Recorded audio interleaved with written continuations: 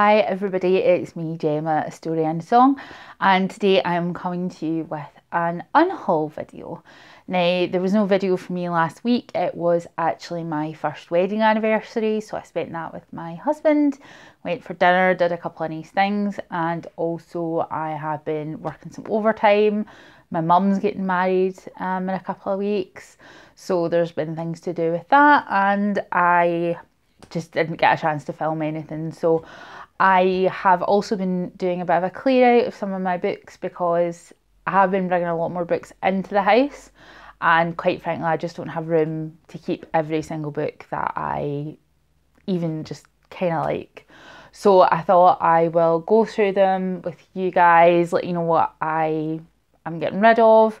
And most of these books will either go to family members that also like to read in my genres or we'll go to the charity shop and we'll go and get resold to someone else.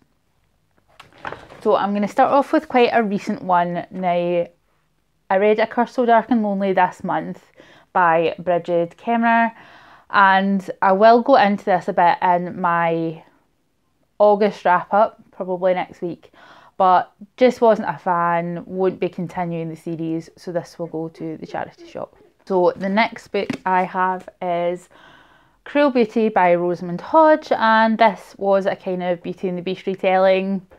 It was fine, kind of enjoyed it.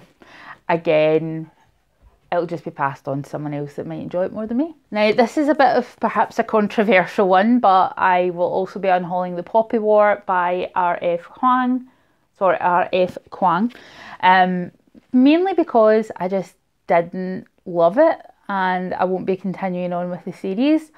I think I've gotten to the stage now with my reading where I've got enough series to be getting on with, so I don't need to be keeping ones or continuing with ones that I'm just kind of mm, about. So this one will be going, and I probably will not be picking up the Dragon Republic. And then I am unhauling all three books in the Lord of the Rings series. Mainly, not because I don't like the books, I do, but I just don't like these editions. Yes, I am that bitch. I just don't like them, and I've seen far prettier editions of Lord of the Rings, which I will at some point spring for, that'll look nice on my shelves. I've got a really nice hardcover of The Hobbit, and it just doesn't look right sitting next to them. So I'll get nice editions of Lord of the Rings at some point. And then also going is The Broken Girls by Simone St. James. Read this a couple of months ago. I think my mum will probably like it, so I'll probably give it to my mum. It was fine, but it's just one of those thrillers. You're only ever going to read it once because once you've figured out who it is, that's, yeah, that's it. And then we have Pretty Girls by Karin Slaughter, also the same. I reread this quite recently and it does have quite the twist, I have to say. And I did really, really enjoy it, but again, I'm probably not going to reread it again, and there's other people that will enjoy it more than me.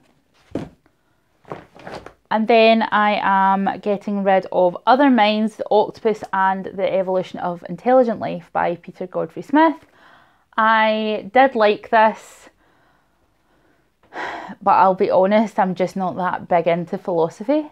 The science bits I really liked, but the philosophy parts kind of, I just don't have the patience for. So then we have Bones Never Lie by Kathy Reichs. Again, this will probably go to my mum.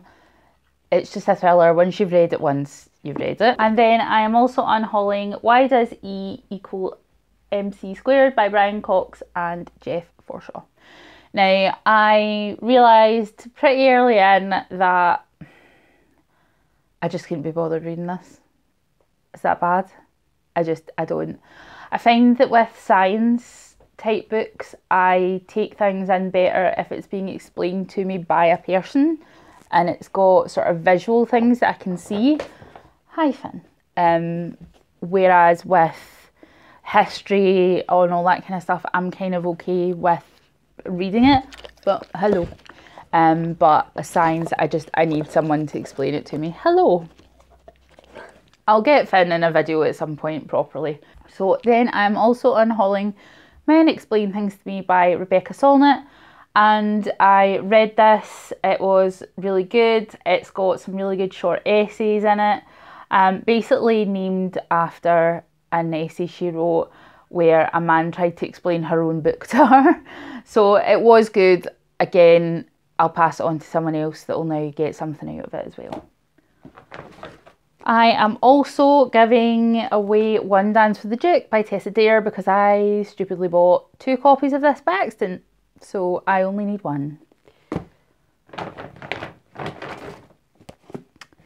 Then I am also unhauling The Well of Ascension by Brandon Sanderson because I have nicer copies that all go together and I'm going to keep them.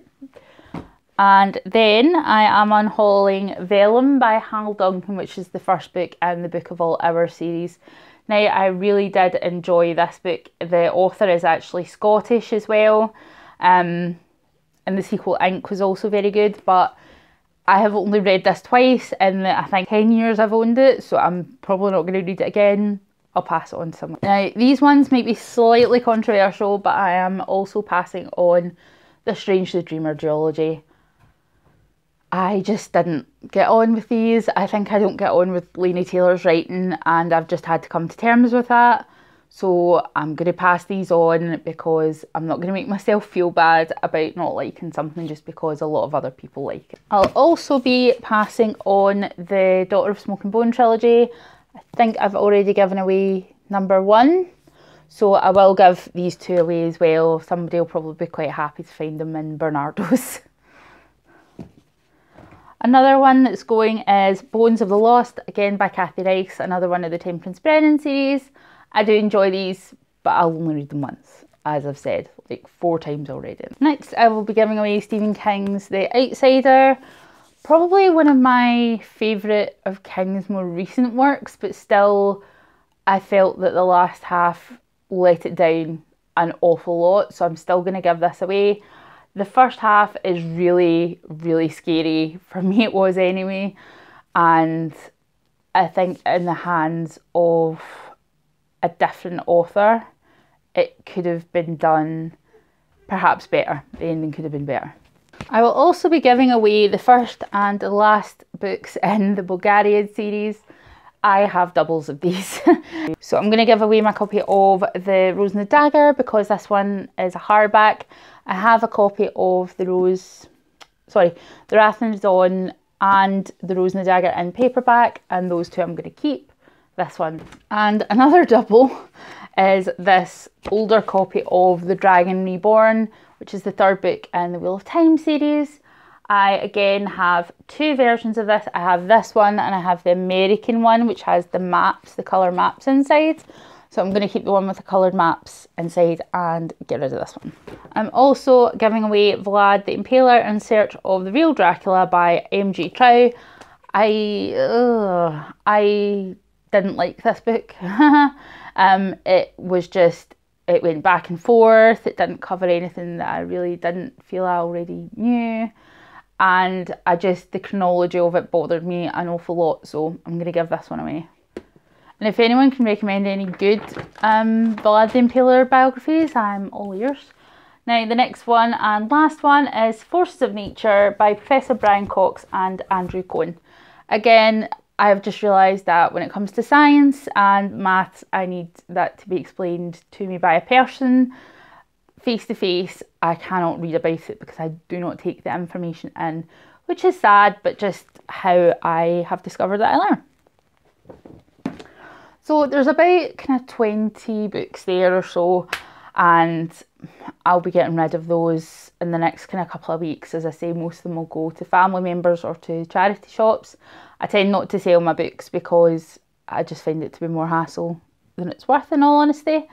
So if anyone thinks I should give any of those a second chance or has read them and had different opinions to me, then do let me know.